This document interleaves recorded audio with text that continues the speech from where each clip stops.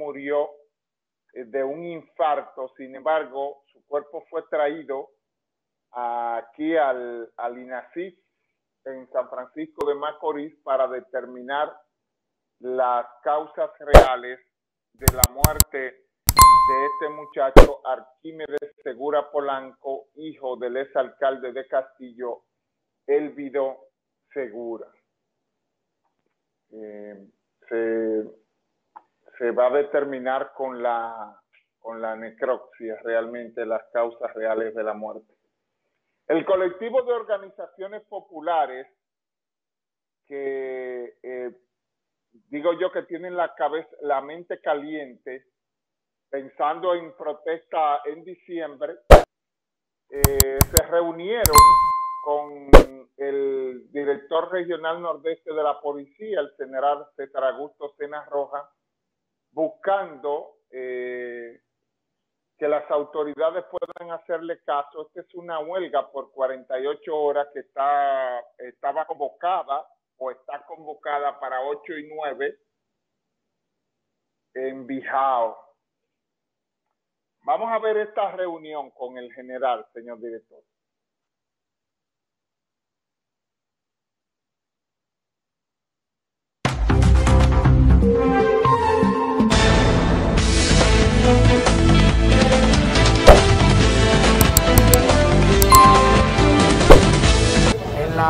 Zona de Bijao afuera, Bijao adentro, La Sequia, Los Espinos y otras comunidades, nosotros eh, nos reunimos con el general y eh, determinamos de que el general se iba a comunicar con las autoridades, llámense gobernadora provincial y síndico municipal para plantearle eh, las demandas que las comunidades están exigiendo, donde están la reparación y construcción de aceras y contenes, reparaciones de caminos vecinales, reparaciones de calles, reparaciones de, dos puentes que fueron destruidos fruto de los aguaceros y eh, también la, la continuación del tendido eléctrico para las comunidades del Boulevard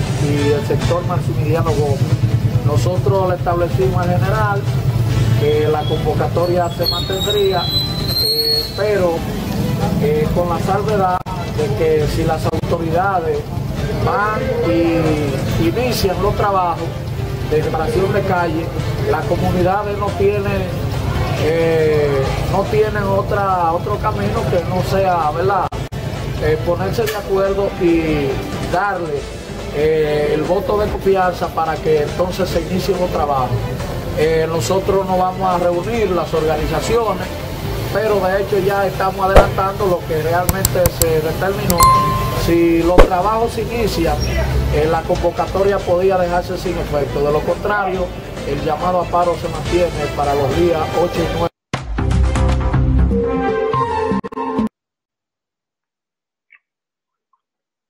Días. Hermano, buenos días. Estás en el aire. Bueno, vuélveme a llamar, hermano, que parece que estás, no tiene señal. El alcalde, cuando yo veo estos líderes, estos líderes, me preocupo. El alcalde se reunió con ellos y le buscó solución a algunas situaciones y le prometió gestionar otras. Vamos a ver, señor director, este otro, este otro video de la, de la presencia eh, del, del alcalde en Bijao.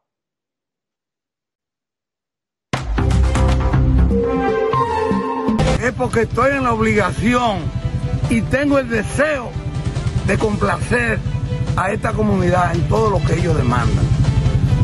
Y le he dicho que sí a la mayoría de las cosas, porque le he dicho que ese puentecito de inmediato va a y eh, a, habitar aquel camino. Las demás demandas, estamos en mes de diciembre, el tiempo es corto, pero yo también digo que me comprometo hablar con el de norte para lo eléctrico y con caminos vecinales, pero tienen que creer en la buena fe nosotros como funcionarios. Estamos dando contestas y soluciones en lo inmediato a lo que se puede hacer por lo difícil que es el mes de diciembre. Y de enero en adelante me uno a ellos para servirles de pie de amigo, tanto desde el ayuntamiento como los demás organismos del Estado que nos van a oír. Así que yo veo esta visita positiva porque de lo inmediato se van a obtener cosas y en enero vamos a reenganchar, a tratar de cumplir con todas las demandas que ellos están pidiendo.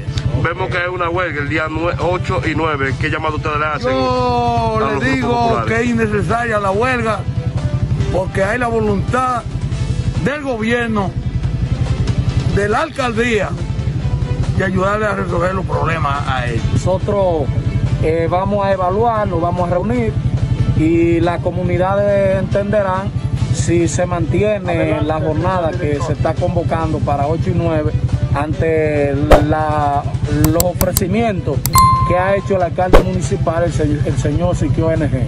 ¿Qué están exigiendo ustedes? Bueno, aquí se está reclamando el acondicionamiento de los caminos vecinales, eh, habilitación, que se habilite este puente, que es una zona por donde la gente camina, un área también de salida por allá, por el Espino, que cuando llueve prácticamente la gente no puede salir, no puede andar con un zapatico limpio. Las mujeres tienen que andar de casa obligadas porque las zapatillas se le, se le destruyen.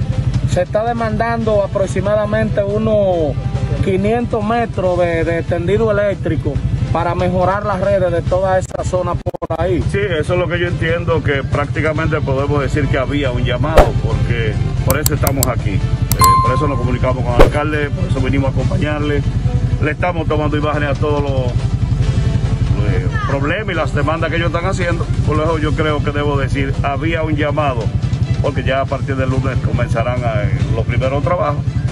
Y vamos a seguir aquí porque lo de nosotros es brindar seguridad y protección a los ciudadanos.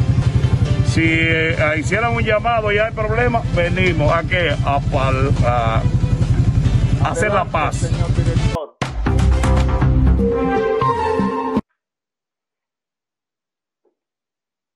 muy largo ese video. Vámonos, eh, lo, que, lo que no vimos ahí en Bijao fue la presencia de la gobernadora. Ella tenía que estar ahí para responderle a las comunidades.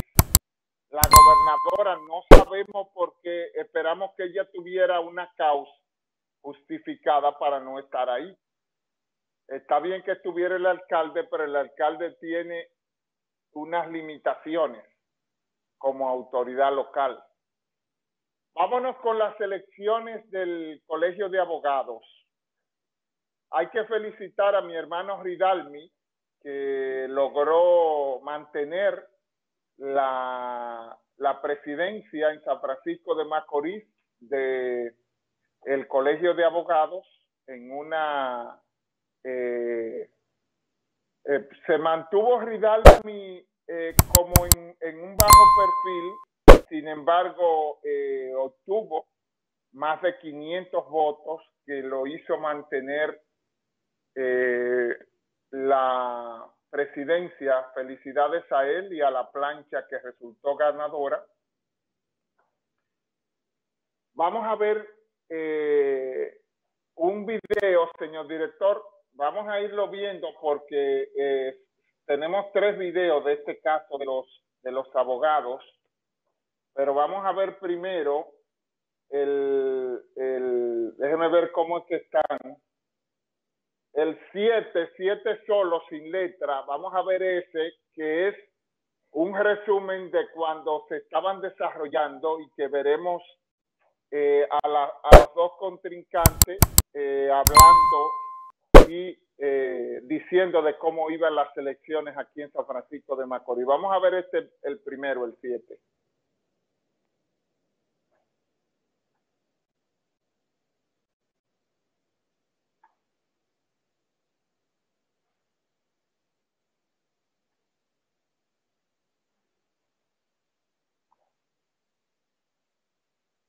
Ese no es.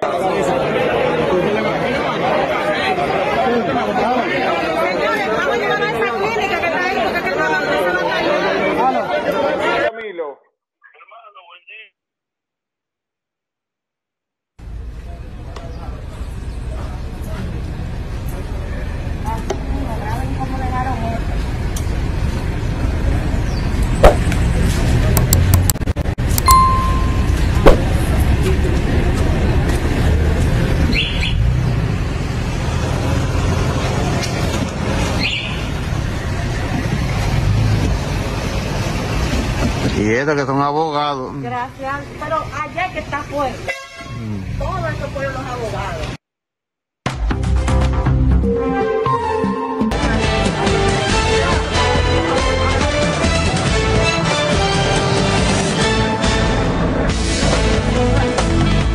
El proceso va marchando con normalidad. Hemos visto que teníamos mucho tiempo que no veíamos una cantidad de abogados tremendo eh, apoyando lo que son las elecciones, la transparencia, ¿verdad? La, eh, apoyándonos nosotros también. Nosotros ya, y está fuera de tu pregunta, tenemos la perspectiva de que hoy asumimos la presidencia del Colegio de Abogados con, esta, con este gran respaldo que tenemos de, de- de parte de los abogados. ¿Cuántas mesas están funcionando? ¿Cuántas mesas? Tres meses, sí, ¿A qué hora cierran la votación? a las cuatro de la tarde. ¿Y qué espera? Eh, que todo se haga con normalidad, con tranquilidad, con transparencia y al final eh, la gente decide. La gente decide quién gana, quién pierde, pues nosotros, eh, uno de los dos van a hacer los resultados. El proceso va con toda normalidad, los abogados están acudiendo masivamente a votar y entendemos que nosotros vamos a obtener nueva vez la- el triunfo y que vamos a seguir haciendo el trabajo en beneficio de los abogados. ¿No ha sucedido nada anormal dentro de las votaciones? No, no, todo va a control. ¿Han aparecido todos los abogados en el padrón? Hay unos que otros no aparecen, pero como tienen su carnet, eso es propio del proceso.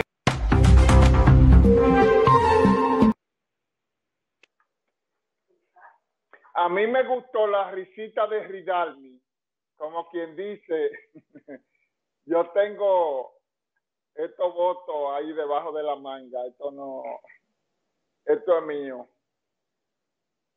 Pusimos todos los videos juntos, señor director, pero había uno, el primero que usted puso, que era, o sea, las elecciones aquí se dieron perfectamente. Tanto Renzo como Ridalmi hicieron su trabajo, eh, cada uno pues hizo, eh, Renzo tenía un, equipo muy, que hizo un buen trabajo realmente en la que estaba mi compañero eh, Smith, pero eh, lamentablemente no tuvo la, la, la presidencia. Sin embargo, a nivel nacional también Surún retuvo la presidencia, pero allá, allá sucedieron muchos